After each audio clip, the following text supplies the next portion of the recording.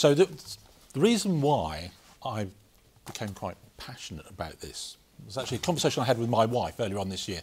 Um, I've got two daughters, both of them have gone off to university this summer, and we were talking about what they do with their future and da da da da. And I said, how would you feel about them going into procurement? And she said, get stuffed. No way I want them going into procurement.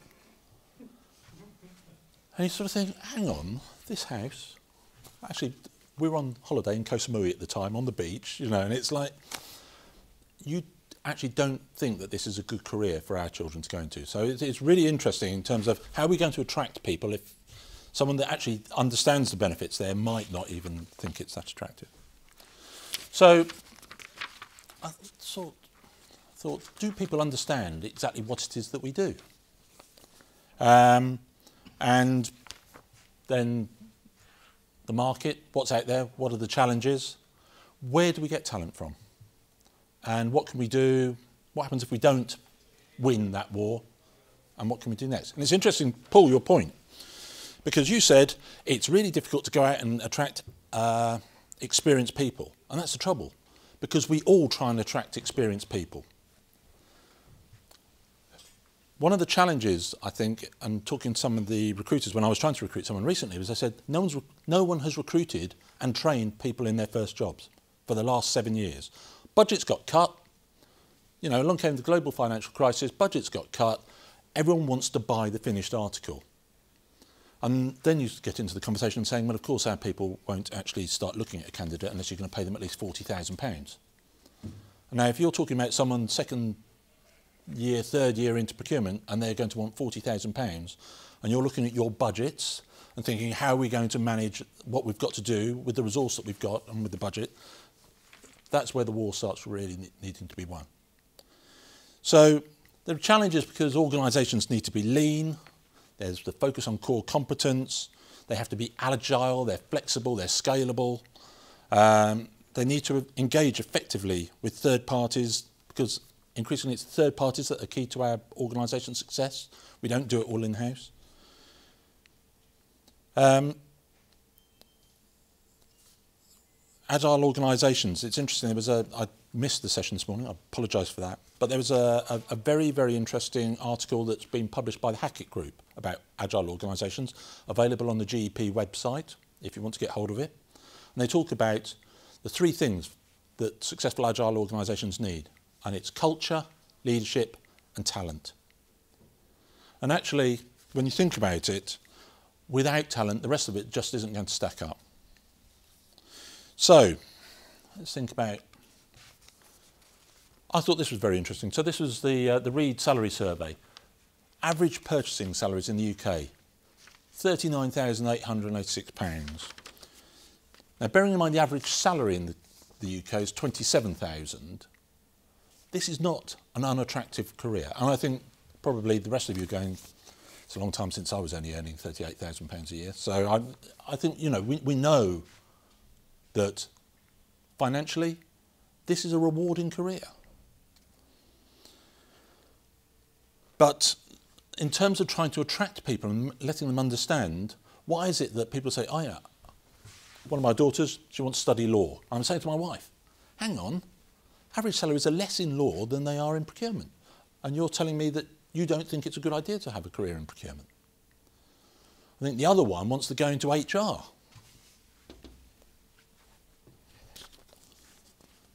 So, if we are to attract talent into procurement, we need to think about what we're doing and how we sell it as a profession. How do we get those people wanting to come into procurement? So you think about procurement. Us as a profession, what are we? Policy police.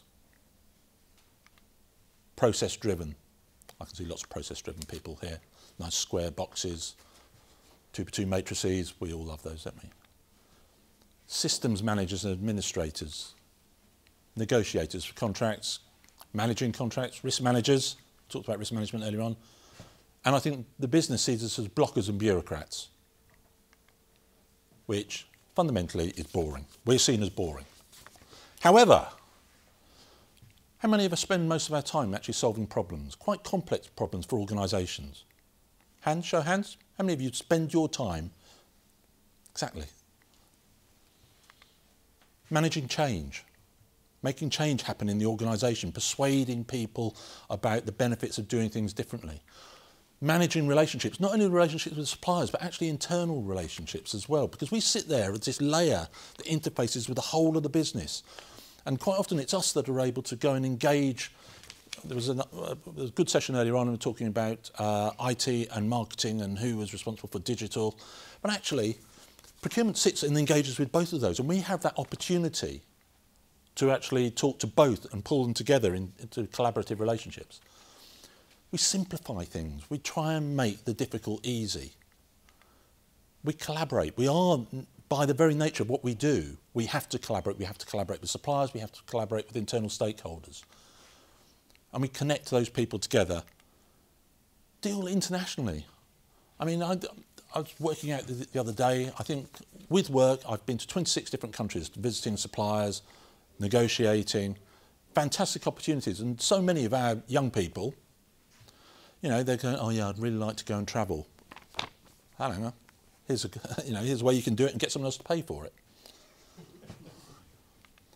and innovators and inventors, we create solutions and we look for bringing in innovation from outside the organisation, from all those suppliers that we deal with.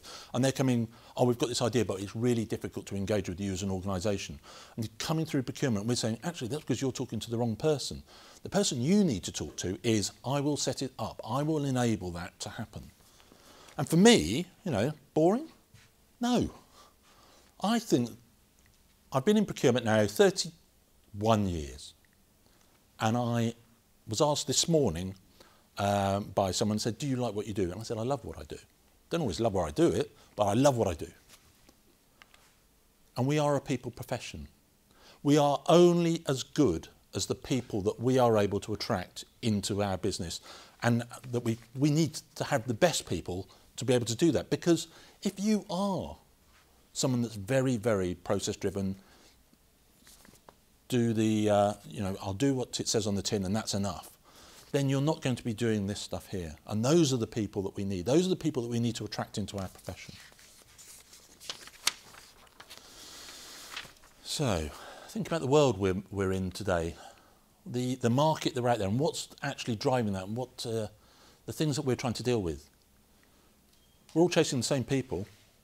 We're chasing the same from procurement, but actually marketing and finance and sales and everyone else is trying to, to, to go for those same people. They want bright, uh, alert, enthusiastic people.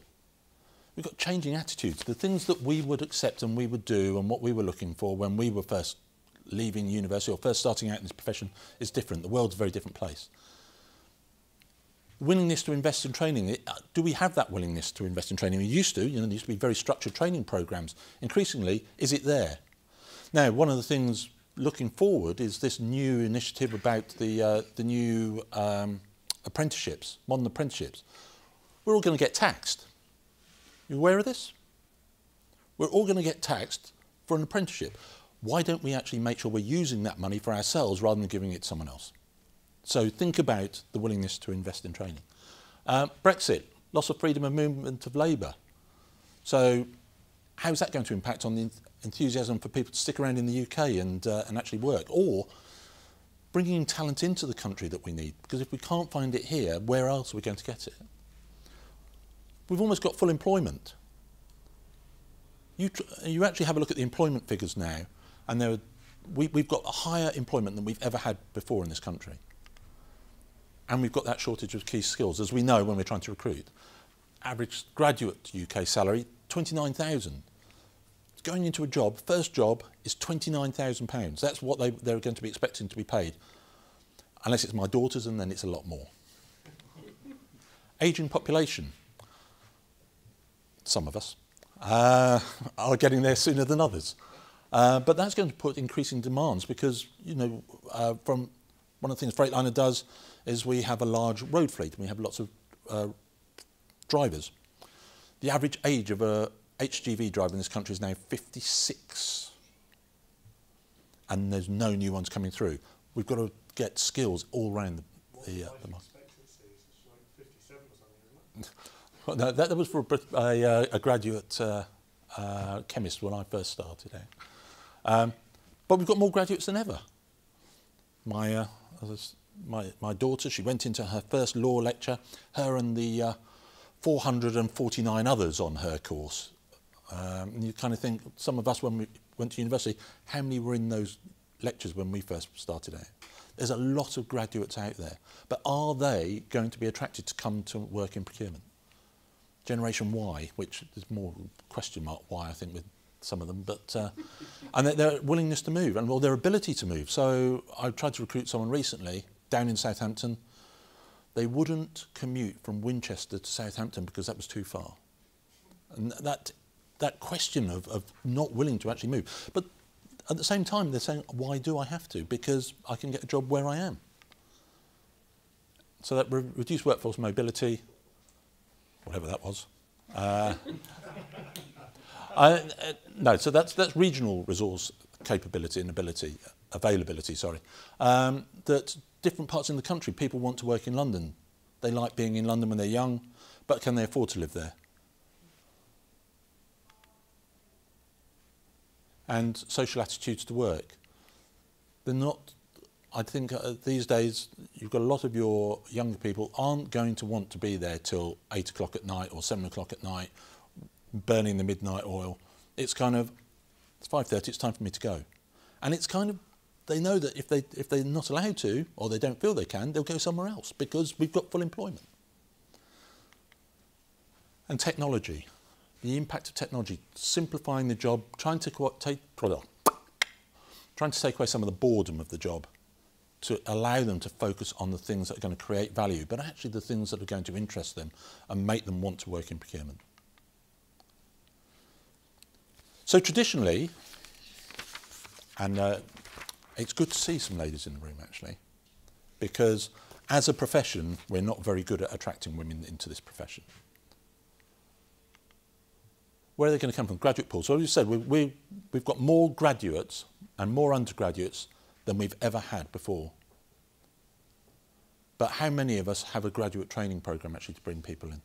Or how many also thinking about that graduate pool, sorry, I'll just go back, uh, the graduate pool, increasingly there's a lot of um, students leaving school at 18 going, do I want to come out in three years' time with £50,000 worth of debt? What else is there for me to do that can give me a rewarding career, something I'm going to enjoy doing and not have to do that? And also, do I want to go off and do that? Our ethnic groups. Now, it's quite an interesting when I used to work at PwC, and one of the problems that they had, and this was seven years ago, was sending partners off to go and visit uh, entrepreneurs, and uh, they would be all white middle-aged men going and meeting young Asian guys and, and girls who were going, this person doesn't represent me. I don't actually see that. So we need to be more open to where we're going to actually recruit from. And also, you know, a lot of our suppliers, increasingly, if we're looking to source from India or China, we need people that can actually engage culturally and through language there. Women, it's a good one. After having two daughters, I'm sort of very, very pro women. Uh, and but I've always been through, throughout my career, I've been amazed at how few women are attracted to a career in procurement, and I, I'm not quite sure why. But it's almost it's probably it, it's, we, we, we need to have more examples of women doing really, really well. And there have been, but I don't think they're well publicised. And I don't think a lot of girls actually see that there's a good career for women in procurement. And we need to make that something that uh, they don't. So it's, it, the interview panel is always made up of white middle aged men. It's going to be very difficult to convince them that actually this is a good place for a woman to come and work. The alternatives to university. Actually having structured training that means that they don't have to take on that debt. Some of the best people I've ever recruited have actually been people that have known the organisation and were almost on the verge of leaving, but actually have come from finance or engineering or marketing because they actually like the idea of working in procurement eventually when I've sold it to them. Um, but they know the organisation and they've got all those connections within the organisation. External transfers. So one of the things is bringing people in from other organisations. I know that uh, there's a consultancy that I, I was chatting to who they actually have a training program with themselves, a large retailer and another organisation, which I can't remember, and they actually recruit graduate trainees together and then migrate them around and then they offer them a job at the end of it. But also think about suppliers. Could you source from suppliers or could you actually do placements of people into suppliers to actually get a different exposure? And then thinking about your network. So how do we use our network, not just the connections that we've got, but actually that wider network to actually attract people into the, uh, the organisation. And then think about what they're going to be like. Not money driven. Well, they want money, but it's not the be all and end all.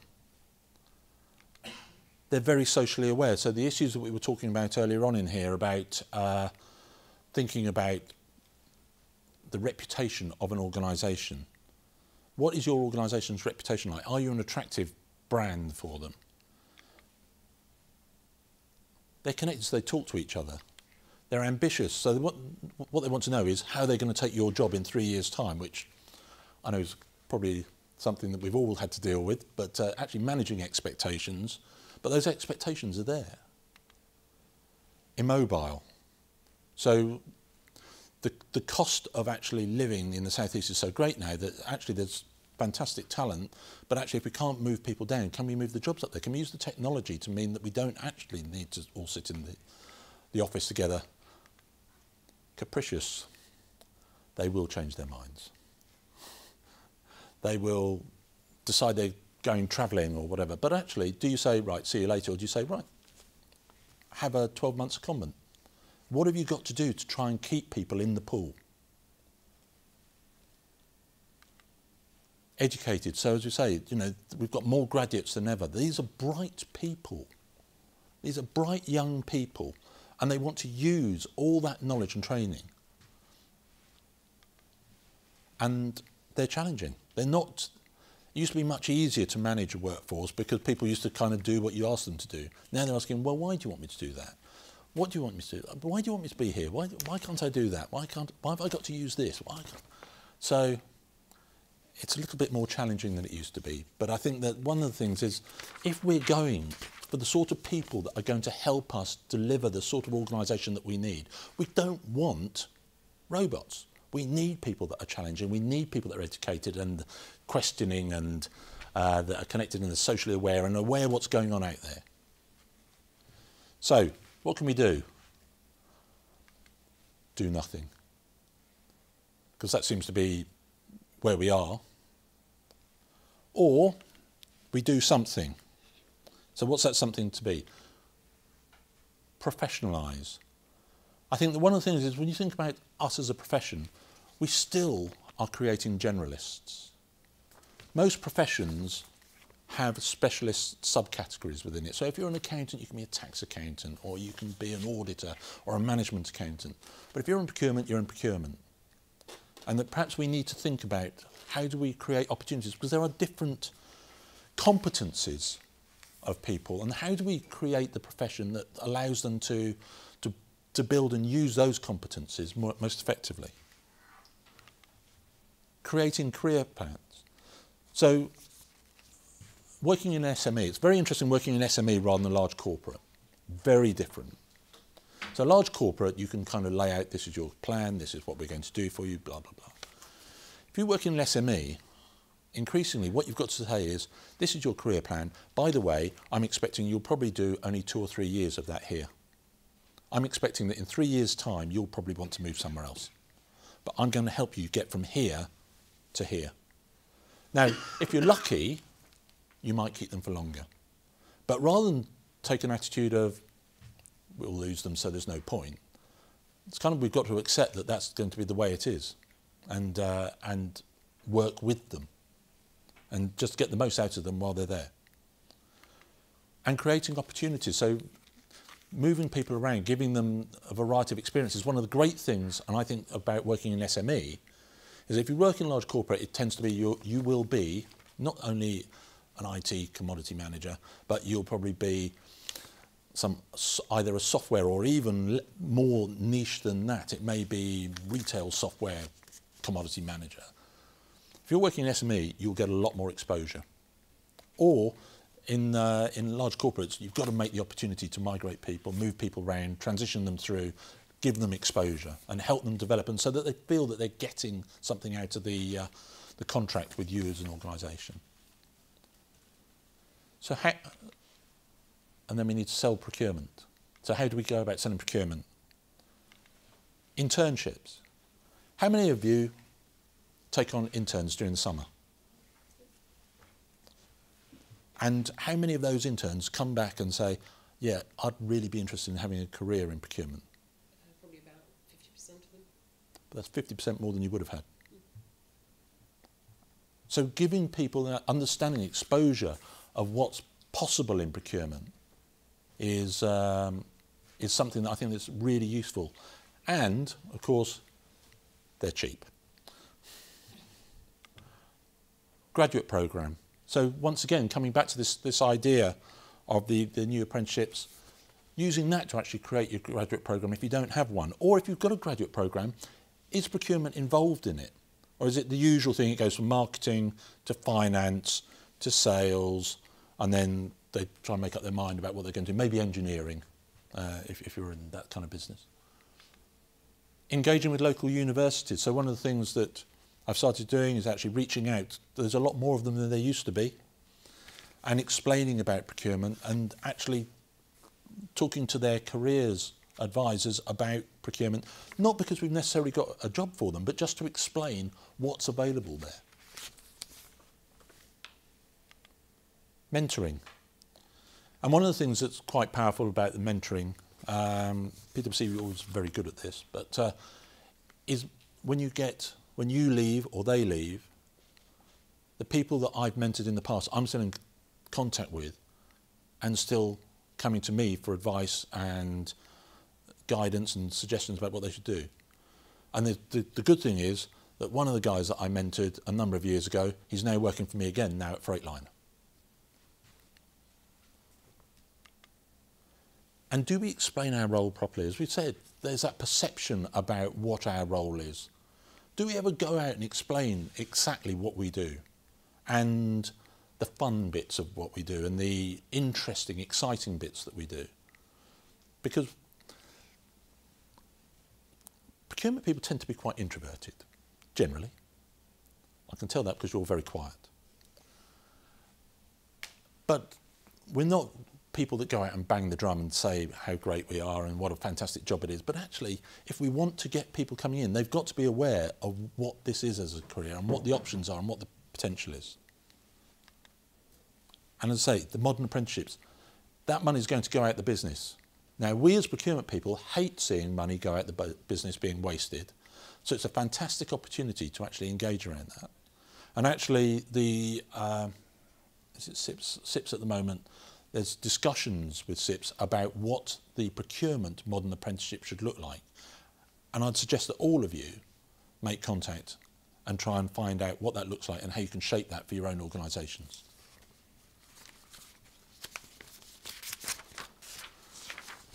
So, what can we do? Professionalise, create a graduate training programme, training contracts, mandate professional qualifications, MBAs, segmentation of roles, and the new apprenticeship. So around this, do we put people on training contracts? Bring them in. So if, you're, if you work for an accounting firm, you come in on a training contract. You have to pass the training at the end of that or you're out the door. We're just so grateful for having found a body that was still breathing to come through the door that we like, you know, just accept them. But that's not really professionalising where we need to be. And is it going to be attracting people to feel good about the profession and actually going to get the quality of people that we need in. And then creating a career plan, so segmentation of the roles, rotation of staff, placements in other departments or even suppliers. So putting people out on secondment into a supplier for a week, finding out what goes on there. What's it like to deal with procurement from the other side? And having templates for possible careers so that if someone says, what does my future look like, you've actually got something you can say, this is what it could look like. Here's where you could go. This might not be within this organisation, it might be somewhere else, but you can have a great opportunity and a great career. And that guiding the staff on the next step, so the mentoring process. Really important, I think, that particularly for the one thing I would say about uh, I can only speak about my daughters, is that they've got a fairly good idea about what they don't want to do, but they don't necessarily know what they do want to do. And actually explaining to them about what their opportunities are and what that could look like is really important.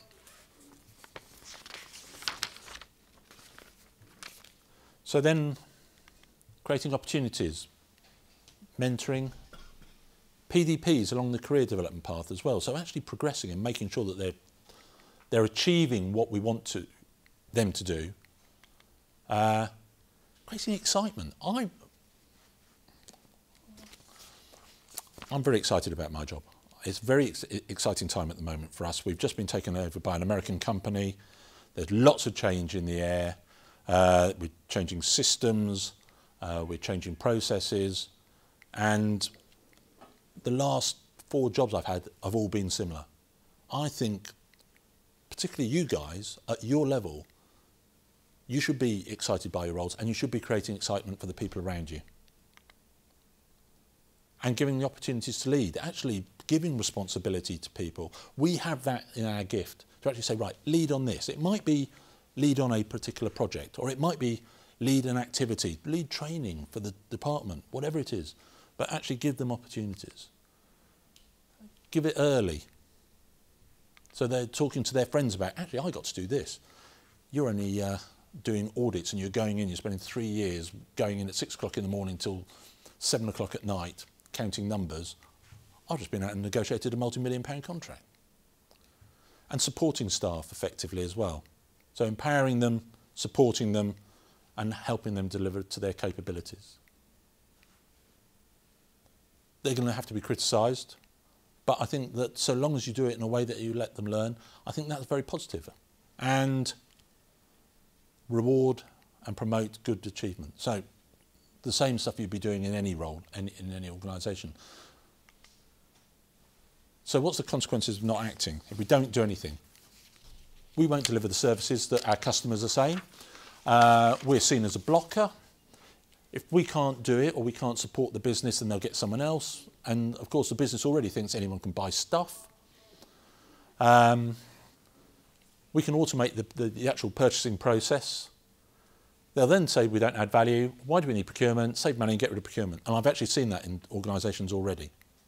So if we don't address the challenges that the organisation faces, if we don't get the talent in, there won't be procurement in a few years' time.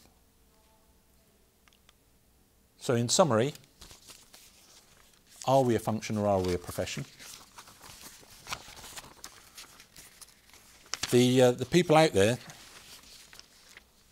have choices. I would say it's almost full employment out there. How are we going to get the best people to come into our profession? The business needs what we do done. If we don't do it, someone else will. Probably not as well as we do it, but they'll get it done. And really the question is, as a profession, as you as individual professionals, what are you able to do to actually help procurement win the war for talent? Thank you.